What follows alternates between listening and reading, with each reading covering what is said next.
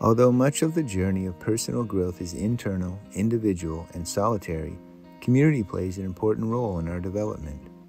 Humans are social, communal beings, coming together for everything from basic survival to collaborative work to leisure activities. Communities provide encounters from which we learn about ourselves and often expose areas requiring further attention and awareness. Whether it's a sports club, church, hobbyist group, AA meeting, or simply a gathering of friends, social interaction keeps us grounded and provides valuable feedback. The key is to find the right community, one that fosters healthy relationships and supports us on our path.